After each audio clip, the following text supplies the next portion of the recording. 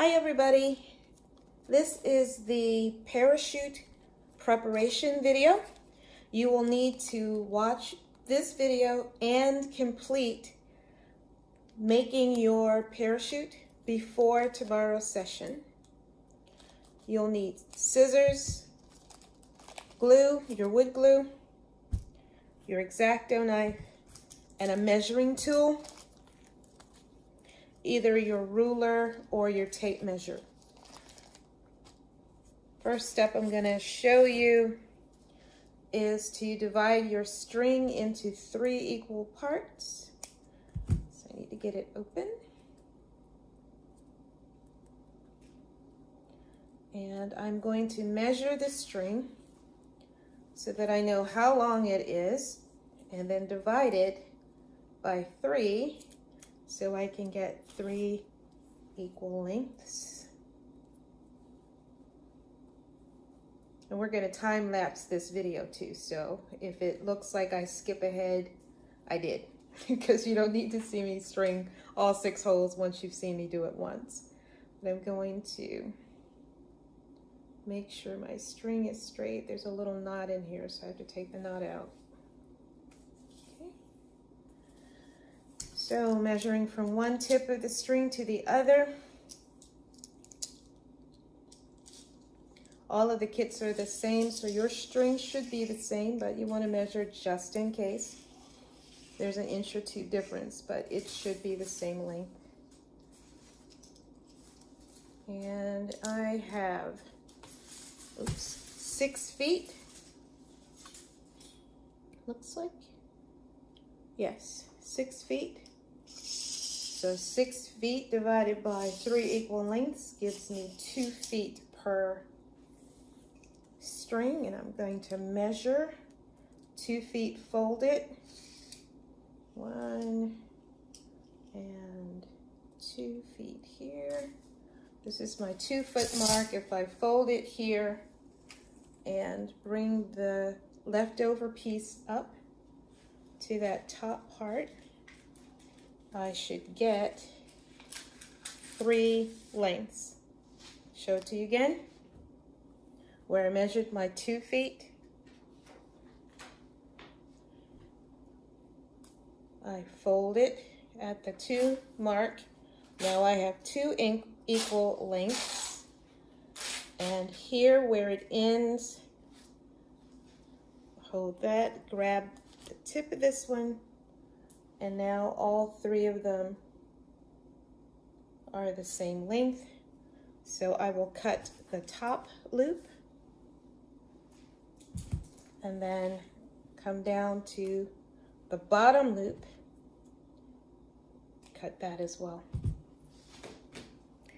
set that to the side. Unfold your parachute. We are going to cut the outside dotted one. There are two size parachutes here. And we are going to use the larger parachute. This is where the time-lapse video as you're cutting on the dotted line all the way around the plastic sheeting.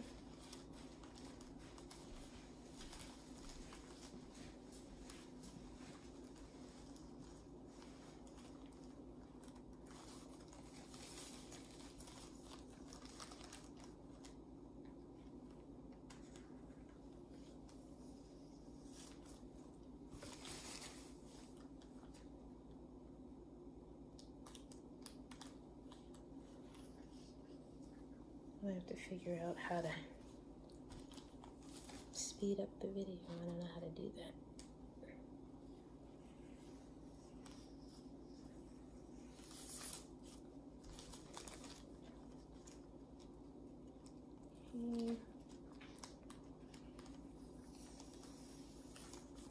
All right, my parachute is cut out all the way around.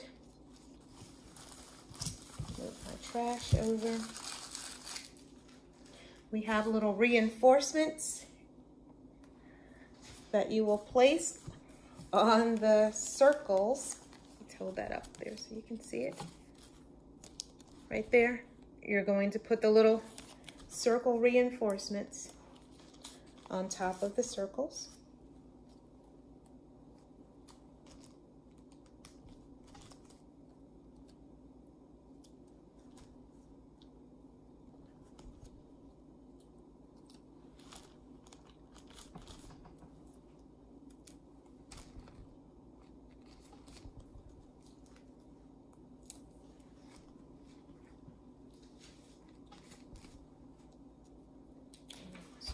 There.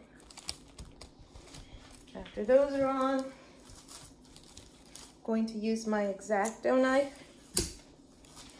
to put a hole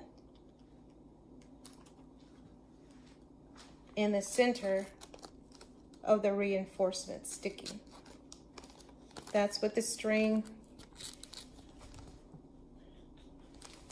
the shroud line is going to go through. So I go around through all six holes. Oops.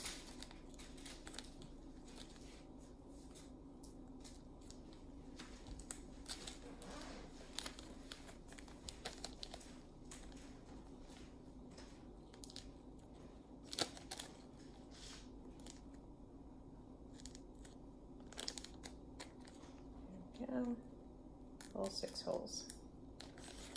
Now, the threading of the holes.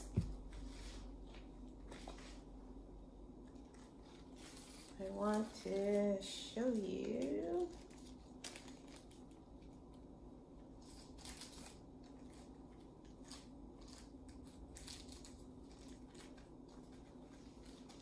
In figure four it shows you that you're going to use one string and you'll use the two holes that are right next to each other for threading. This one string will go here and here. The second string you pick up will go here and here. And the third string will go here and here. So you're threading the two holes that are next to each other. And you want to use the least amount of string that you can use and still get a knot. And you want to be consistent on every hole with the amount of string that's left here at the top knot so that the bottom, um, when you pull the strings together at the bottom of the chute, it will be even.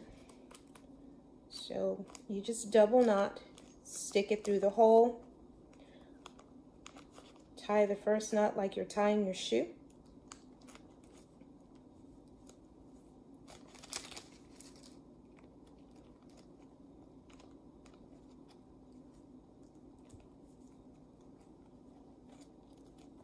As you can see, I'm struggling here.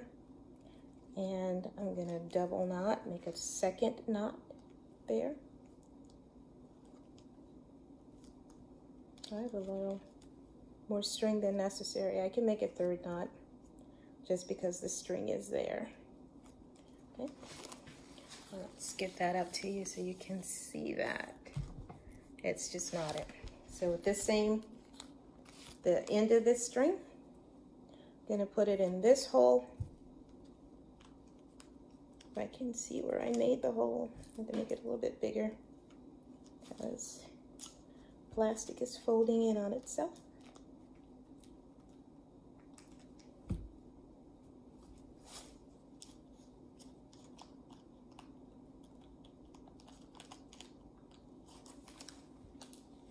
And I'm going from the bottom up. You might want to do bottom down, but just be consistent on all of them you do. If you do one from the bottom up, do them all from the bottom up. If you do them from the top down, do them all from the top down.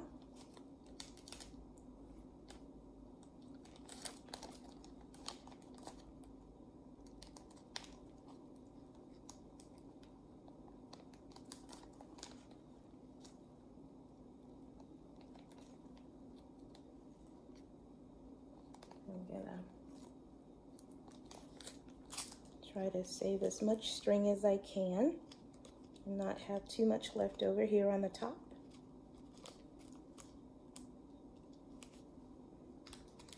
Double knot. And we might as well triple knot that one too because I had some left over. And that's my first side. We're gonna do that for the next two. I'm gonna cut the tape off and do my next two and we'll come back when I get them done. Okay, we're back. All of the holes have been threaded. So now if I pull the top part of my parachute and pull down, all of the strings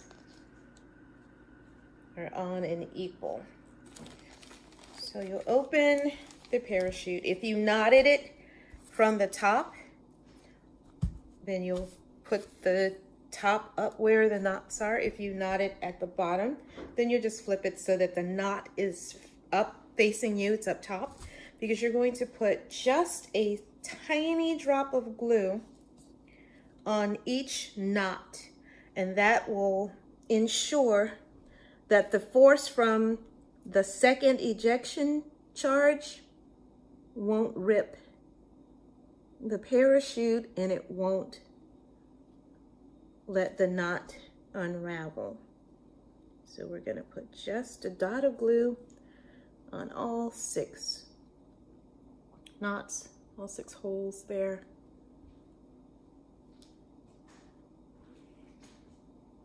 Here. And you wanna make sure you use the wood glue because I made the mistake and used the super glue the CA, which melts plastic. And you don't want to do that to your parachute. I just added an extra little dot there because it looks like the paper ripped a little bit on that one. I want to make sure it doesn't rip. And it's done. Your parachute is done. Leave it um, facing up for a couple of hours just to make sure that the glue has enough time to dry then you're ready uh, for the six o'clock session. We'll see you at six. Well, actually, we'll see you a few minutes before six. We can't log on at six and start at six. So you have to log on with your materials already out and your parachute already finished. See you then.